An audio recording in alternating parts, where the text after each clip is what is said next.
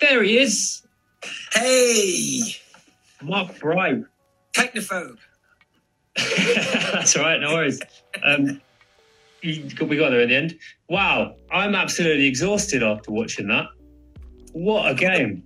And we all knew the outcome. Yeah, I know. It's still exciting, even when you know, isn't it?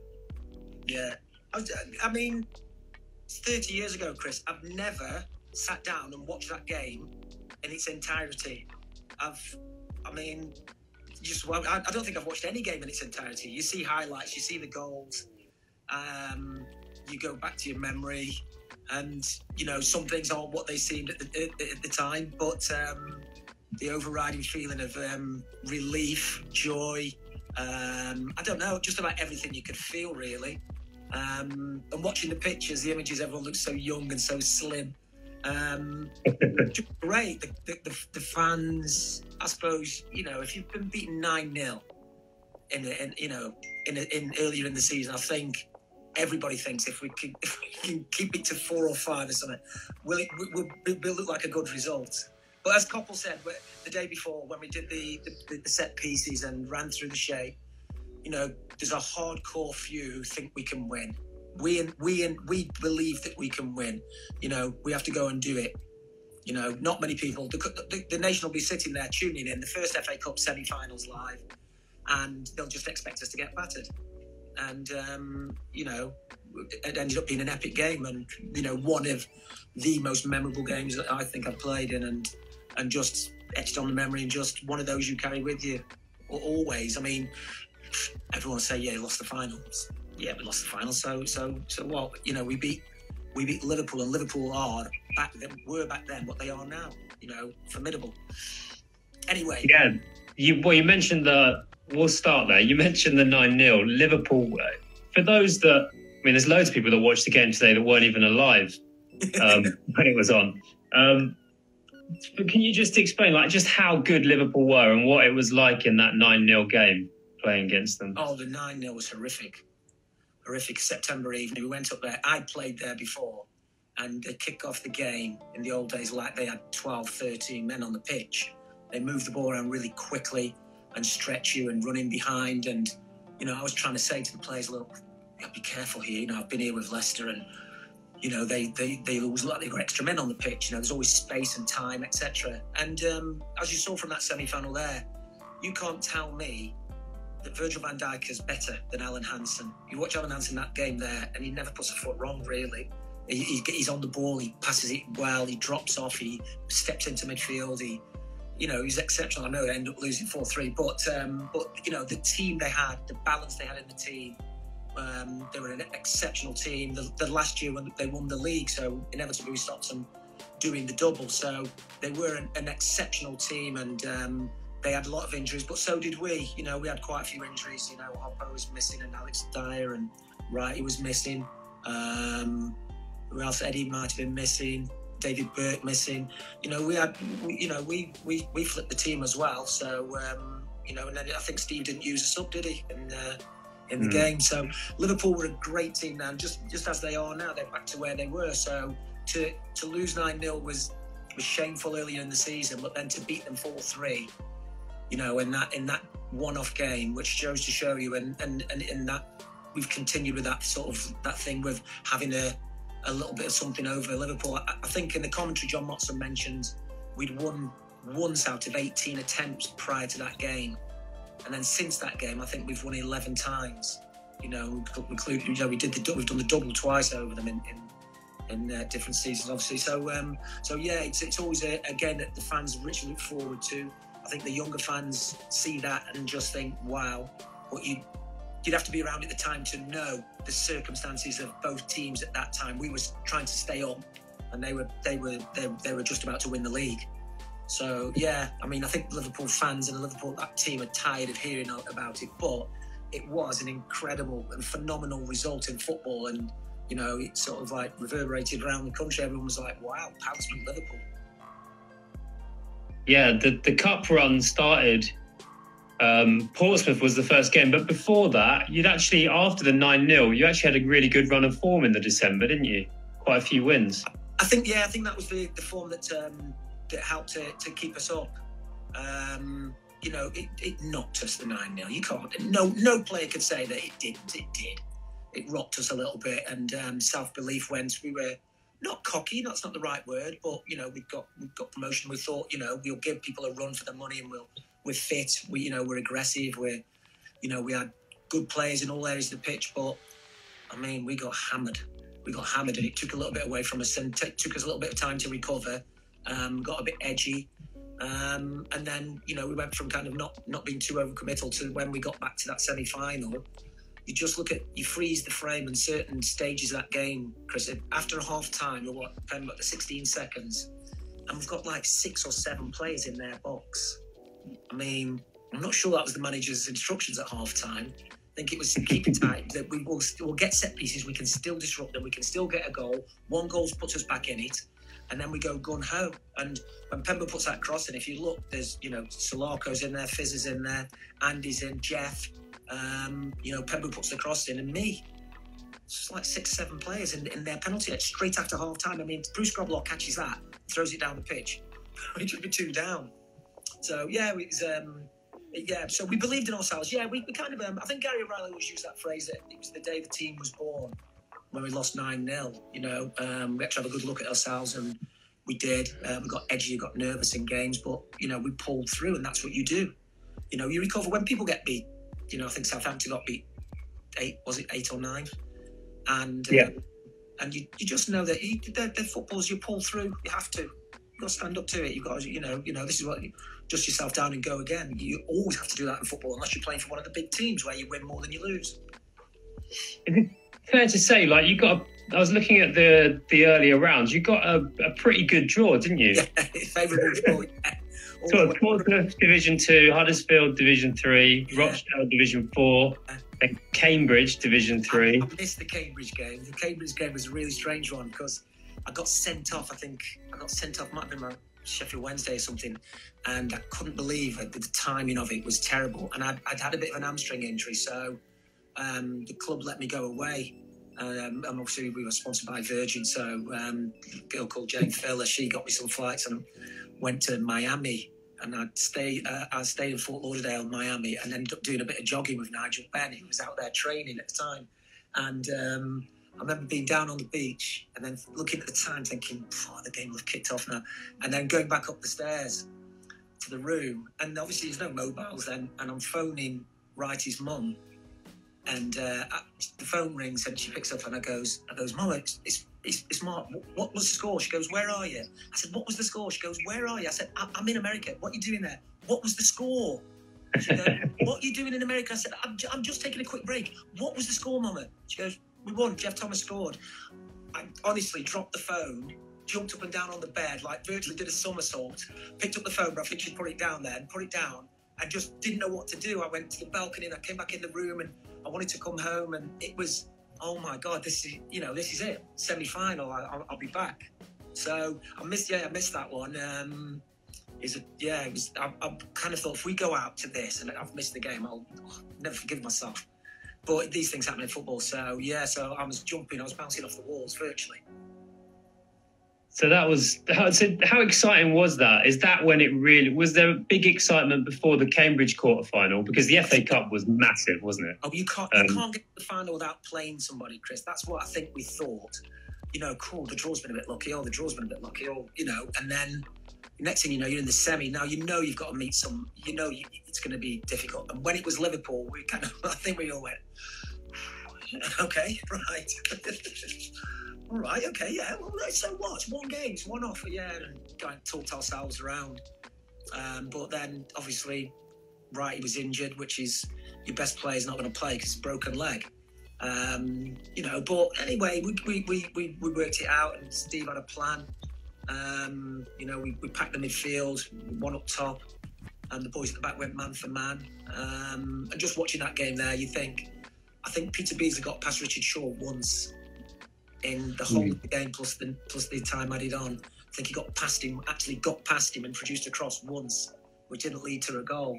And the boys did ever so well at the back. Everybody, Thorny, you know, uh, Gary O'Reilly, Richard, and then obviously we, you know, Pembo did what he did. He's, you know, big heart. Um, Fizzer Barber just was Fizzer Barber, just chips away, tips away, keeps going, keeps going. Andy and Jeff thought were excellent, you know, and I was just isolated. I hardly had a kick really in the first half. I, got, I think four or five touches, but um, yeah, believed it. You just believed in each other, I suppose. You look in the change room, you think we've got to play our absolute best and we've got to stop them playing at their best. That's the that's the equation to come out of that with a victory. We've got to play everybody. Everyone on our team's got to max out. They've got to play their best, and we've got to stop them. You know, and, and Nigel pulls off a couple of great saves at the end. So, for the people who were in the stadium, it was I think it was disbelief. My, my sister and brother were, and my brother always got edgy towards the end of the games with the crowds and everything. So he made my sister leave, and so she they ended up watching it at, extra time in a pub in uh, in Birmingham. So near to the car where they parked it. So she was a bit annoyed at that. But anyway, yeah, it was um, it was just a magical day. You know, from, from everything seemed to fall into place from start to finish. You know, um, apart from some of the fans getting caught in the traffic on the motorway, and then you come out and you think, oh, why is it what's empty seats? Empty seats at the semi-final. What's that about? And I, I think you always have a fondness for that that stadium. Whenever I go back there, I know you just there's something about that stadium. You know, Villa Park. I just I think it's etched in in all our memories really that, that how what a massive achievement it was for us. So yeah, just you know, just a reminder, 30 years on, you know how great the day was, and we've had great days since, and we'll have great days again. You mentioned the game plan, the formation. The so the John Motson and Terry Venables had no idea how you were going to line up until they had a look at it. How much time did you actually get to work on that? Because uh, since the, I guess that a plan would have started to form as soon as you drew Liverpool, right? But you're still playing league games in between that. So did you did you only work on the plan in the in the week leading up to the game? Yeah, think so. Yeah, I think it was Steve's just said right. This is this is how we're going to play. Bright's going to play up top on his own. We're going to pack the midfield. We're going to go man to man at the back. Um, everyone's going to have a man to mark. Just follow that man wherever he goes. And I mean, you you can work on it a little bit, but not that not too much. Um, you know roughly who you've got fit. Some people might be the last minute. Um, as you can see, there's only two people on the bench. It was Rudy and, uh, and Dave Madden. Um, and you, you just have to buy into it, you know. But well, most important player, without question, really, I think was Andy with his delivery, Andy Gray. So, mm. you know, he on his day, I mean, you know, you, you don't exaggerate. He's as good as anybody. He's as good as Beckham. You know, he could deliver that ball, he could whip it in, he could he could float it in, he could just dink it over the, the top to the defence for it to sit up. And there's nothing he couldn't do. And then, you know, he just showed his, his adaptability. He just, he's playing in midfield, he's tracking, and then he's joining, the closest one to me. And he plays a little bit more up top in the in in the second half and gets closer to me. And he can hold it up, he can run channels, he can play wide, he can play up top, and he can play in the centre midfield with Geoff as a pair. So you know, there wasn't, you know, and then obviously um, Al at parts, he, you know, his contribution as well in breaking things. Obviously, gave the ball away for the first goal, which you know that was him. Um, I'm sure it didn't let it affect his confidence. Oh, yeah, obviously. It's not possible, is it? uh, no. but no, no listen. Um, just the magic of the day, and the, the you know the, the, the FA Cup means a bit to me, Chris, because I grew up with it. There was there wasn't much live football on the TV. You get the the the old Champions League trophy, the European Cup as we called it, and the FA Cup. And the FA Cup, as I always said, felt felt tangible. It felt like you could get there. You could have a lucky run, you know, and you could get there. And this is something that's it's possible for me to win in my career. And I always looked at that as the FA Cup is the be all and end all. You've got to be international football to go to the Euros or to the World Cup and, and play in the magic of those stadiums and arenas. But for the FA Cup, uh, you could be lucky one season and get there. You know, and obviously I've been very fortunate. You've been been twice and both went to replays. So you walk mm. out at four FA Cup finals. So you know when when when that the Cambridge game, you know when when they won that, it was I was relieved, but I was more excited at the next level, the FA Cup semi final and I don't care who we draw, we'll give it everything we've got. And I think I just echo the, the, the, sentiment and the attitude of the rest of the team. It's not something you say to each other. It's just something that happens and evolves when you get a good group. Like you know, when we when we got promotion, Um, you know, 213, we got promotion. You just look at the group and you see Melee and everybody and Punch and, and Wilf, and you just think, you know what, we've got a good group here. You can feel it. The fans feel it, I think, like anything else. Sometimes you feel that, you know, you'd be in trouble this game. You, you know, you start it, but then you believe in the team and think that they can come through. So we had a strong belief in each other. We had characters. Um, they were very strong mentally, the team. And um, and we had, you know, five of the team ended up playing for England. So, you know, we had, mm.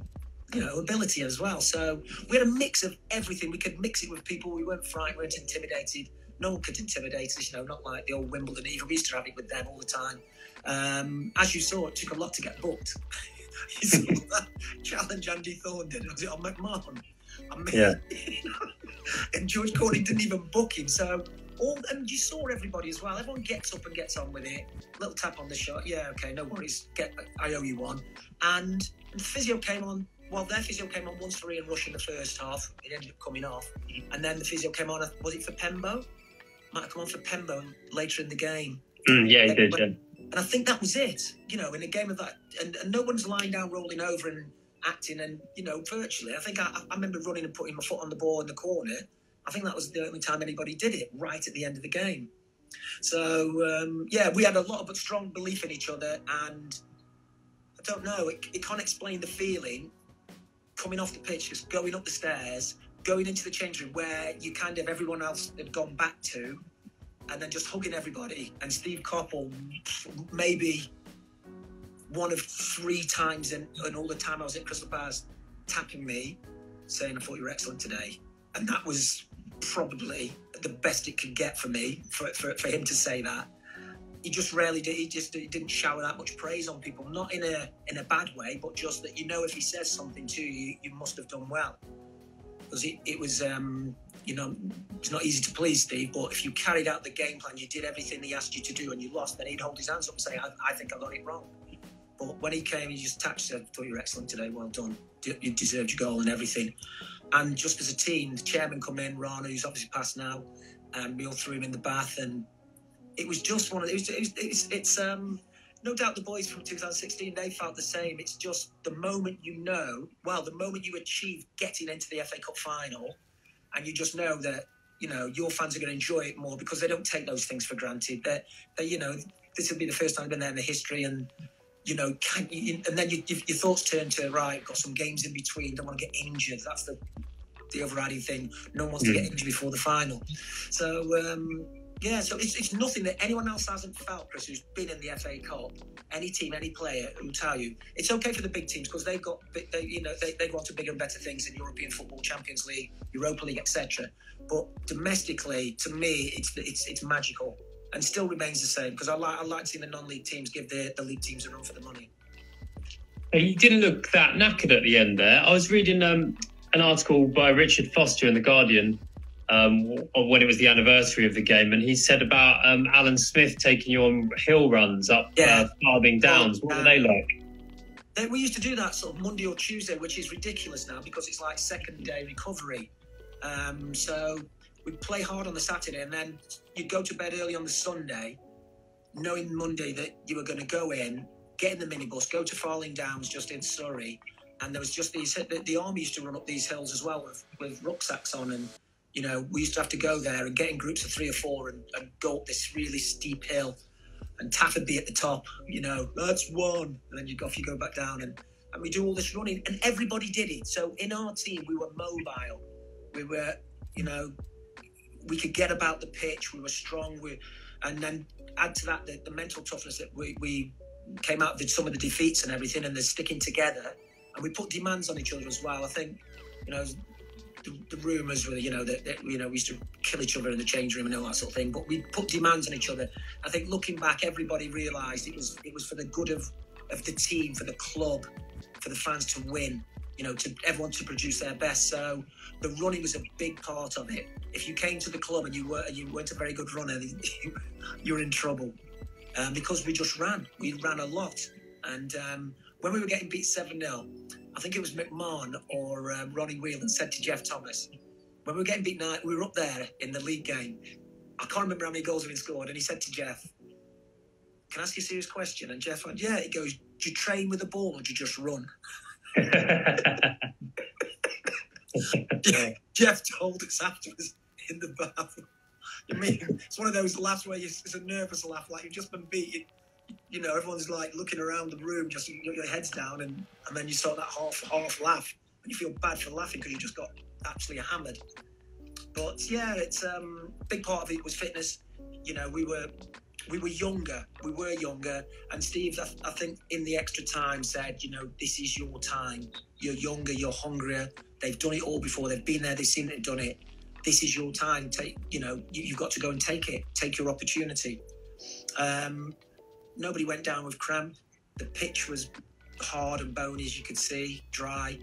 Um, yeah, nobody went down with cramp we were robust. We were a robust team. You know, it's um, times were different. Um, the boys are bigger now. They're bigger. They're they're they're, they're more conditioned. Definitely, you know, better physical specimens. But our boys are just robust. You got up and got on with it and got out there each week and played. And you know, the pitches weren't as good. Surfaces are excellent now. Everything's superb. So, testament. I don't think any, anyone got cramp on either side. Um, you know, especially in extra time, which is definitely but you, you, from from the moment Andy headed that ball in, uh, headed the ball in, I think then you just you you you're floating in this this this place where you just want the referee keep looking at George Courtney saying blow that whistle, blow the whistle because you know Liverpool don't give up anything easily and they they hung in that game. They came they went ahead. They came from behind, and you just know that you know that they, they in any given time they can. Nigel pulls off an excellent. I think it's a header from John Barnes. Is it right at the end? Mm. So um, fitness was a huge thing, and um, we believed in it, and we believed in ourselves. That, you know, we were the fittest. We we thought we felt we're probably the fittest team in the league. Yeah, so fitness was a thing. Maybe not not so much nutrition the day before. I remember in 2016, Pards made them have fish and chips on the Friday before every game. That was yeah. a throwback to 1990, wasn't it? that was that. Yeah, that was the the fish and chips. Like, the, right, we'll start something new. You know, someone who's all right for this for this cup run. This is the third round. I'm going to wear this t-shirt. I'm going to wear this top. I'm going to wear this tie. Whatever you do, if you're superstitious.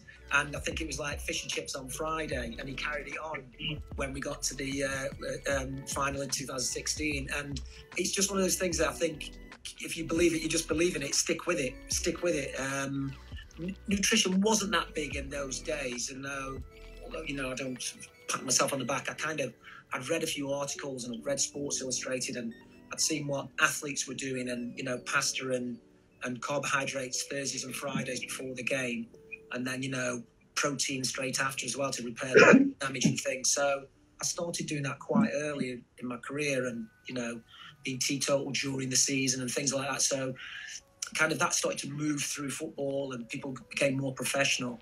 But you think that in our day that that you know that Liverpool team, there's some drinkers in that team, and I think the Arsenal team is well documented. Some drinkers in there, so it's hard to think you can perform at the highest level, win the top trophies, when you know alcohol plays a strong part in your team spirit and bonding. Mm. But they were different times, different eras.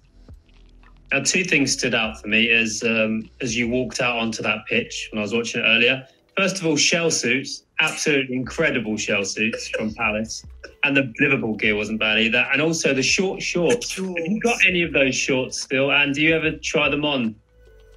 No. Um, you, you, end up giving everything away, Chris. You know, because of that semi final when we were posting stuff on social media, a guy sent me a message and he just said, I managed to catch this when you threw it in the crowd mark, and it's the shirt. My shirt, what oh, I had on.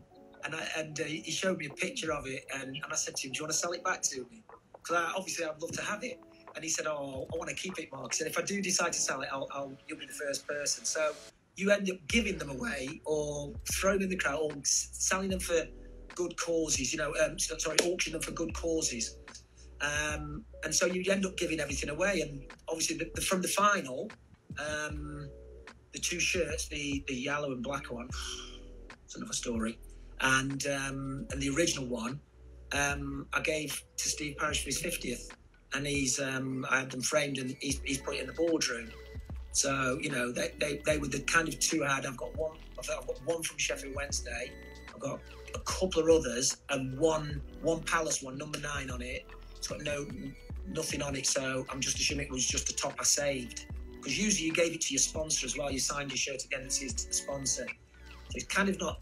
You didn't. No one collected shirts in those days. I don't think. Maybe maybe a few did, but um, yeah. so uh, the, the shorts. I did. I did have some of the shorts, and I think I just I think I ended up giving them away. But um, everything I've got's in one plastic bag, and it's like a handful of shirts. That's it. Wow. Now going back to the game, um, obviously Rush scored, um, but then he went off with an injury. What were you thinking then? I suppose you, you kind of think, oh, Rush has gone off, but then you've got John Barnes and Yeah. Beardsley up front still, and Barnes was incredible. Yeah, John Barnes is a phenomenal player. What he's what he's done for, for, for Liverpool Football Club, what he did for, for English football. Um, you know, in high, I hold him in high regard. You know, he's a fantastic person as well. Um, but they played a similar system to us. They played Rushy, and then they played like Beardsley, Barnes, something, then McMahon and um, uh, Whelan. Um, I think Gary Gillespie played right back. Was it Burrows left? Hysén and Hansen. So you know they had a similar set of trust. Was Rush on his own up, top. I think Peter Bees was kind of like the closest to him.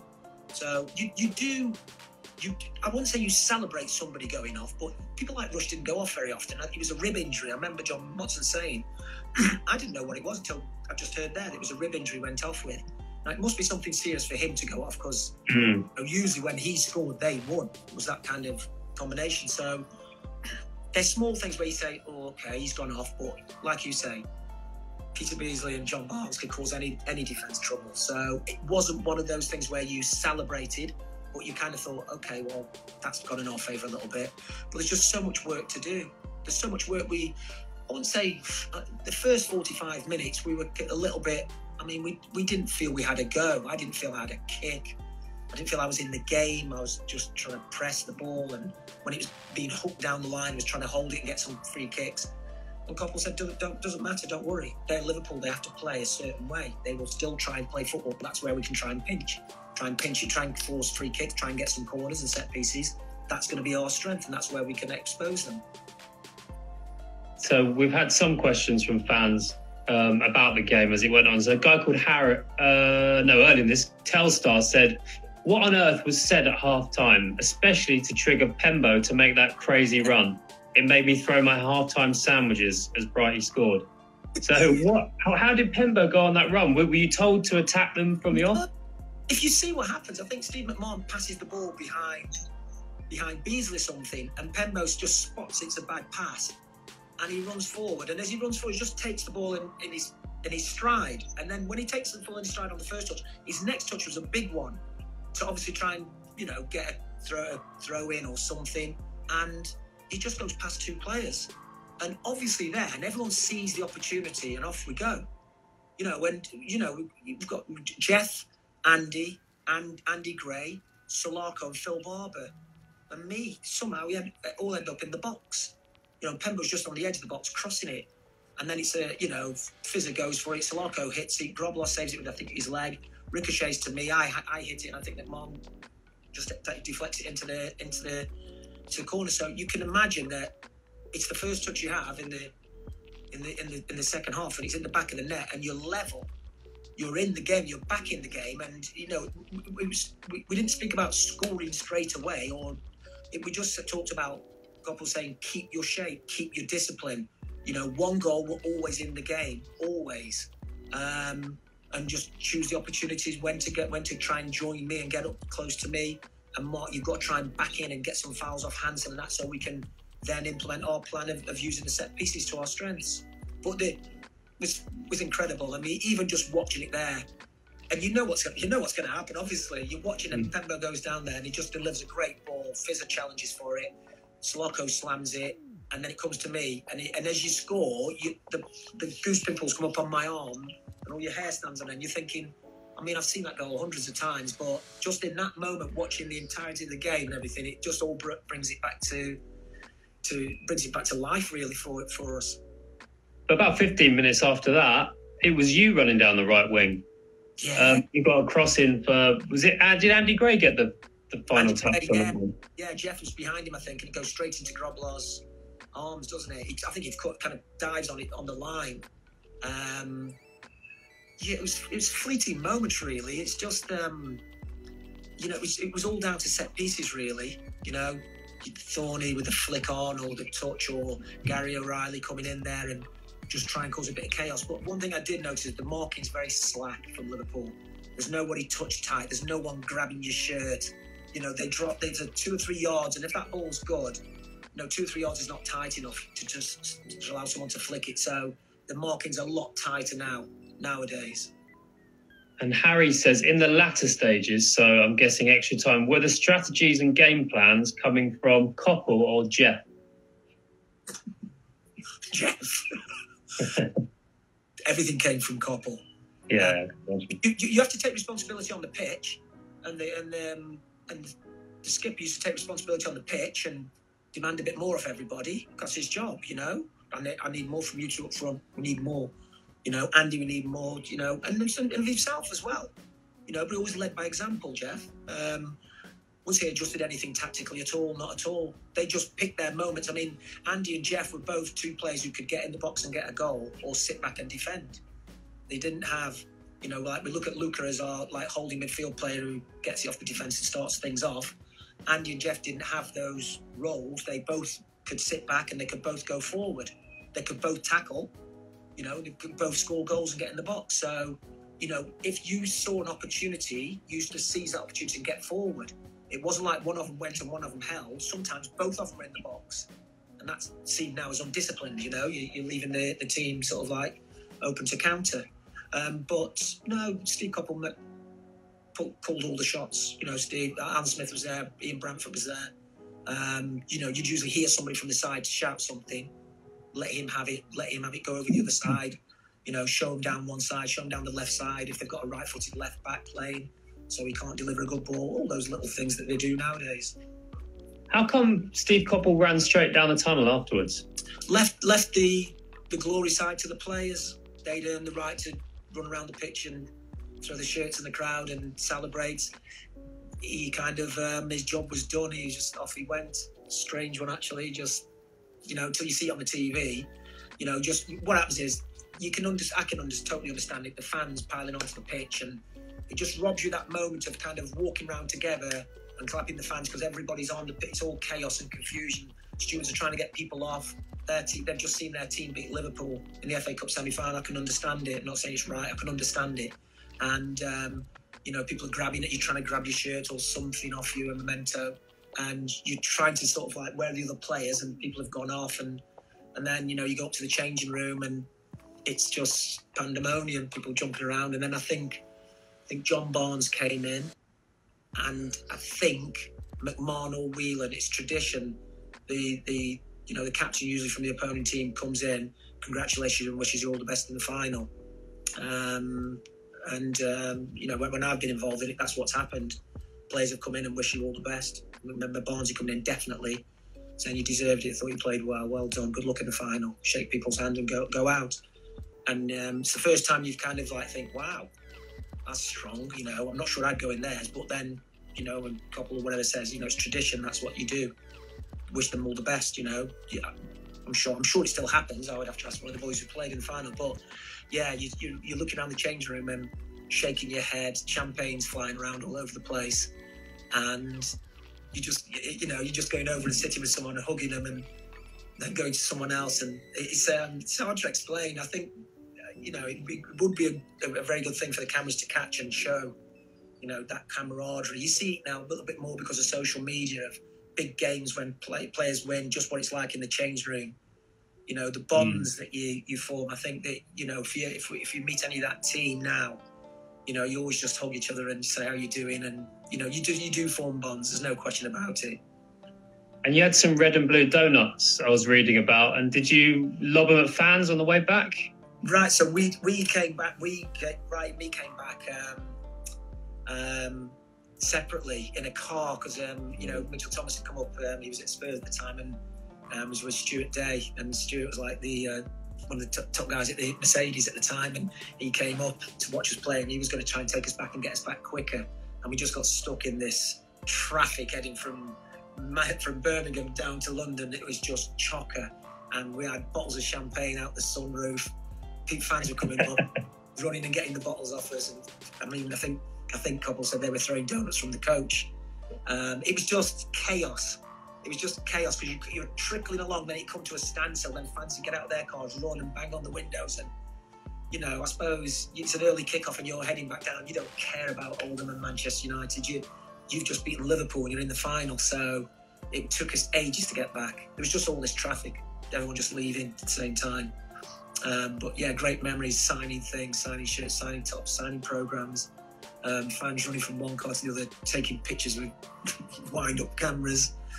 Uh, it was, um, yeah, the great, great memories. And I mean, you know, you don't know where the, the thing is that somebody will say to you, enjoy this because you don't know when it'll happen again. Now, if you're at a big club, you're going to the FA Cup final more often than anybody. You're getting the Champions League. You, you know, you're going to play in these great games.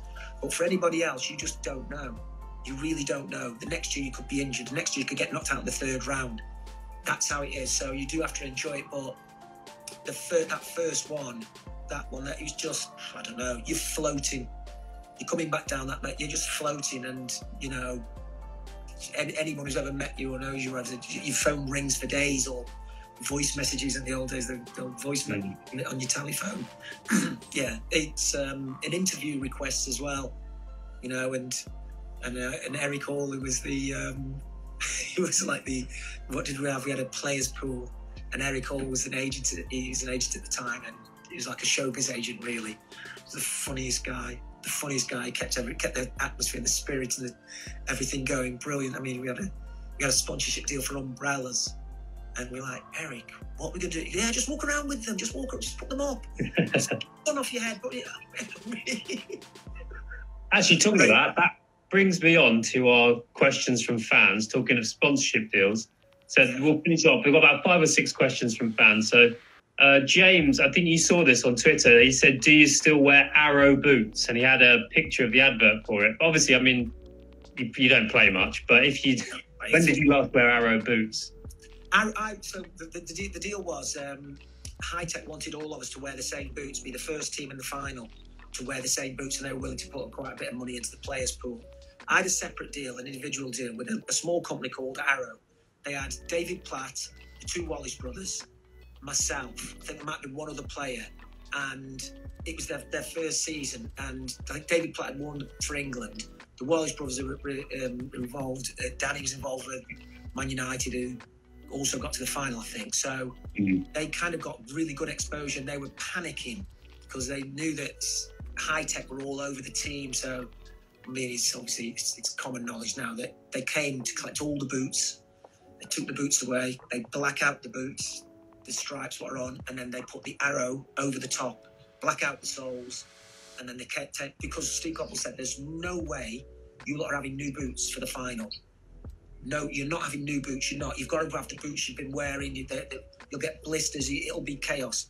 So they just blacked out their boots and put the, the, the thing on top. And I just said no I'm staying loyal to the to the, the small company who who who kind of give me a little bit of money to to as a boot sponsor. So I wore Arrow, which is what I was contracted to do, and I was pr- I was proud and pleased to do it. So um, yeah, so they were they, they, they, went under actually, not for anything to do with me, but yeah, they were they were trying. They had uh, they got good exposure. Alf Weller says, "Who's the toughest defender you would say was hard to compete against? So the toughest defender you played against." In your career? They're common questions, and it's a, and, and it's the answer can be anybody who does anybody on their day. You can say that the toughest I felt to play against were the Arsenal team under George Graham because of the way they played. So you're talking about you know Adams, Keown, Bould, Linighan, um, Paul McGrath, Bruce, Pallister, um, Lawrenson and Hansen, because they they were quick, they were good on the ball. They were you couldn't get near. You know, you, they were so and there'd be any one of number of players from any team, like Killer Kilcline used to play for Coventry. Um, you could you can name you could name a player from any team. So they were all difficult, but you know people like Paul McGrath they were quick. Des Walker, so he's not a dirty player whatsoever, but competed in the air. You knew you weren't beating him for pace. Stood up all the time, never dived in. You know, you know, you, you never had a bad game. He delivered every time. So, but the, the most difficult collectively, the back four and the keeper, and that was Arsenal.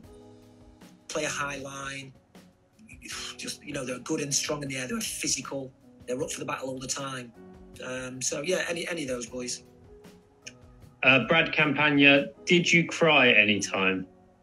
I think he's talking about the 1990 game, but let's just turn into when did you cry in your career? Everybody, you do, yeah. Didn't cry at the night no, we got beat. I was in shock. Um, cried it for the final, that's for sure. Cool.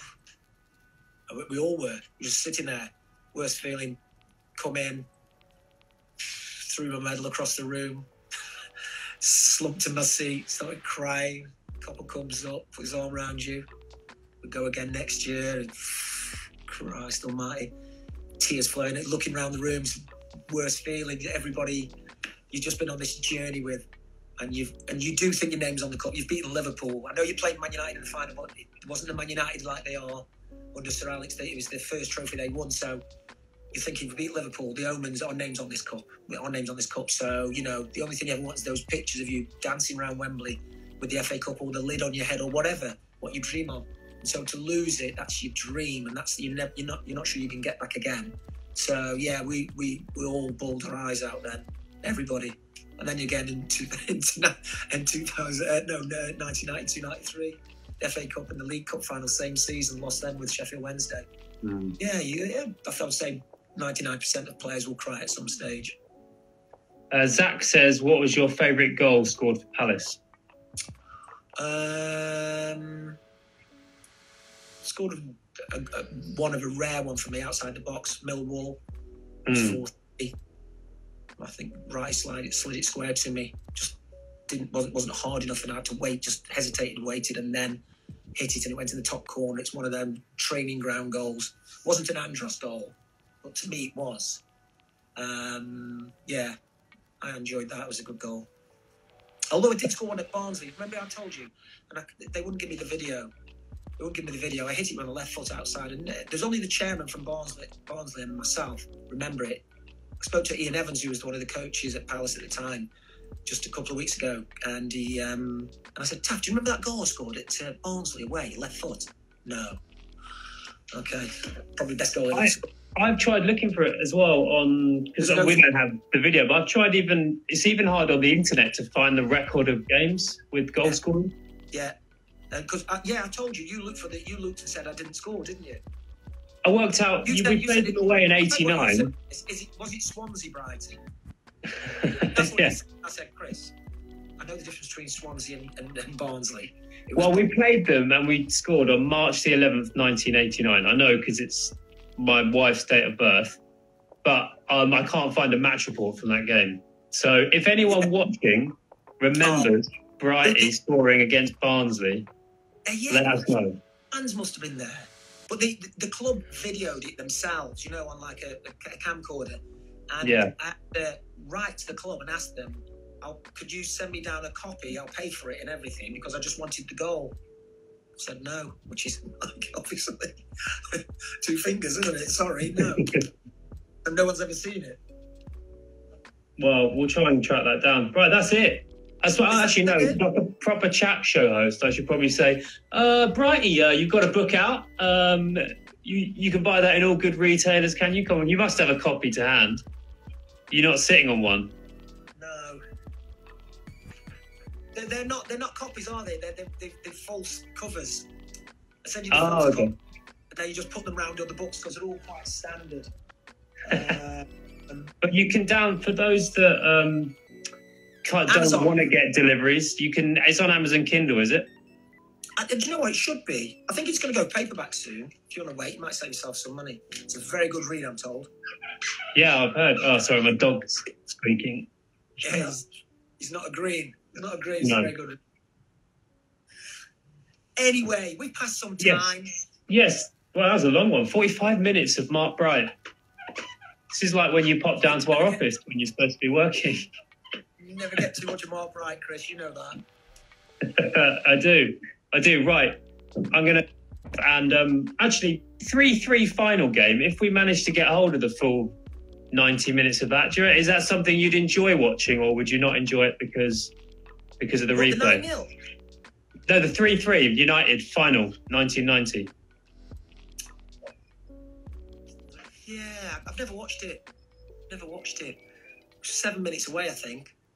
It Mm. was Mark Hughes. I met him at a party one time, and I said, "You know, you broke our hearts." He went, "Let it go, right? Let it go."